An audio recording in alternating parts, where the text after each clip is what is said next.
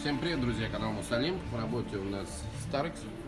Автомобиль приехал к нам сделать шумоизоляцию торпеды. Предварительно мы ее разобрали. Подготовили поверхность. Первым слоем мы наносим вибропласт, толщина его 2 мм. Второй слой мы наносим шумопоглотитель. Это у нас эксперт, толщина его 15 мм. Ну, покажу вам сам пластик.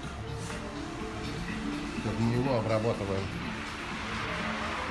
смотрим. Также создали каркас жесткости, то есть обработали пластиком, максимально обработали поверхность, прокатали ваником. И вторым слоем также обрабатываем эксперт 15 миллиметров. Так выглядит шумоизоляция торпеды. Сейчас доделаем, заберем, все проверим. Автомобиль готов. Ставьте свои комментарии, подписывайтесь на наш канал. Всем пока.